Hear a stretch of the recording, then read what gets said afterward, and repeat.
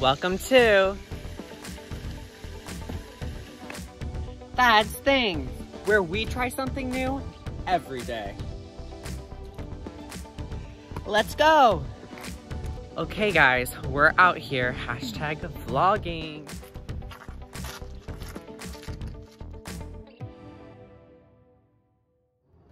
Welcome to another vlog, everybody. Today, I am trying cake decorating, or more specifically, cupcake decorating. So I'm taking frosting and putting it fancily onto the cupcakes. And so I'll keep you posted on that journey. I'm gonna try some different designs using a piping bag, which I have never done before, but you always see on the cooking shows, so it should be cool. I'm excited because they always do it on the cooking shows, and I think it would be cool to like feel like I'm a baker, uh, not a baker, a frosting person. um, I am nervous though, that, you know, I'll just get super stressed or my hand will shake a ton or I won't be good at it or I'll get frustrated in the process. So we'll just see how it goes. I'll keep you posted. Okay, so we got out some bags and lots of different tips. That's like almost an overwhelming amount of tips. I have some mini ones to practice on and I have 24 big ones that I'm gonna be decorating. So I'll let you know how that goes. Okay, so I chose my tips and I have to choose colors next, but this tip is kind of like a many layered star tip, I guess you could say. This one is like a pinwheel or something like that. This one has very sliver-like star features, so that'll be interesting. And then this one is circle, so I'm gonna be able to do interesting things with that. Two bags are loaded now, our blue and our green, and I still have to load one bag with this sugar-free chocolate frosting, and then one bag with this lemon frosting. So you'll see them when they're loaded. So I have taken the bag and kind of folded it outside so that I have it to the max fill line so that I can stick the frosting directly into where I need the frosting.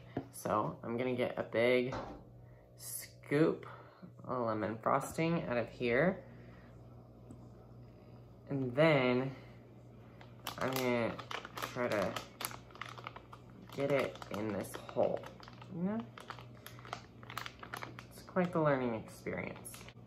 It's gonna take a few more scoops, but I'll let you know when these next two bags are full. Just wanted to let you in on at least the part of the process. Okay, four bags are loaded and some test dots and lines. Now I'm gonna move on to my practice mini cupcakes with some dots.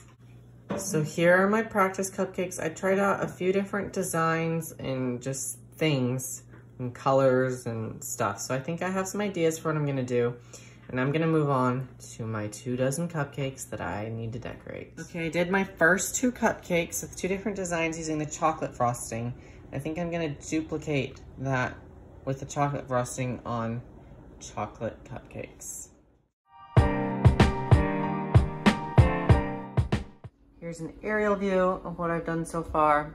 I'm going to venture into the land of color. Wish me luck. Okay, so I've been experimenting with some things like these, I tried doing bigger dollops of circles instead of super tiny ones, like I did maybe more over there, or really over there. Those were tiny. And then over here, I tried to do like, you know, stripes, which is kind of interesting because when you're not doing a continuous swirl, it kind of made it hard, but you know, I'm testing things out and I have plenty of cupcakes left to do. Here we go. The platters are shaping up.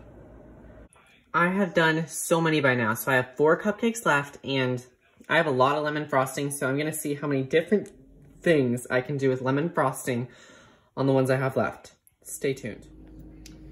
Okay, so I'm gonna do a swirl on this one, and you have to hold it steady, and you have to move steady, which the moving steady, and actually just the moving circular is the hard part for me. Sometimes I kind of make a little bit more of an oval, but then doing the little up part is kind of fun. So that's a day in the life of one cupcake guess what? I finished all of the cupcakes. It was actually super cool to get to try out different things. I'll show you what I did on some of the last ones. On this yellow one, I did a big kind of dab in the middle where I just left it in place and let it kind of billow out. And then I circled around it to fill in the rest of the gaps.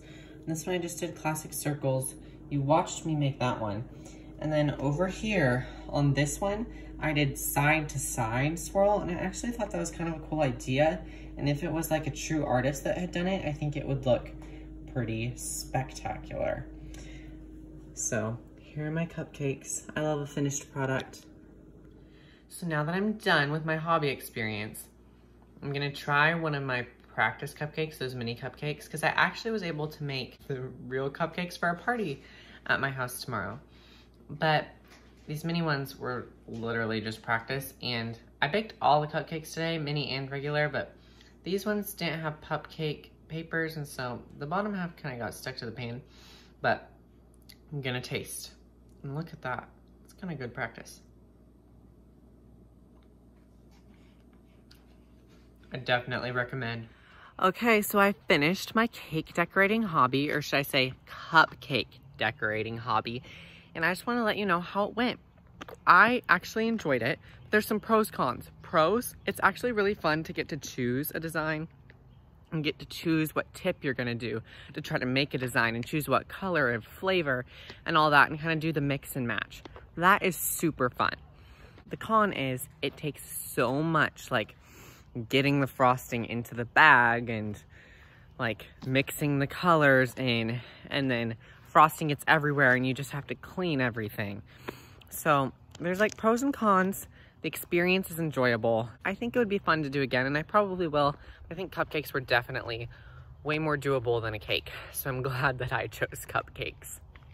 Anyways, this is actually my last hobby vlog for you guys, which actually is kind of sad for me because I really like not only recording these because I feel so cool with my hashtag vlogger stuff, but I also actually enjoy getting to put together the vlogs and be creative with that. So maybe you'll see another vlog from me sometime. I don't know.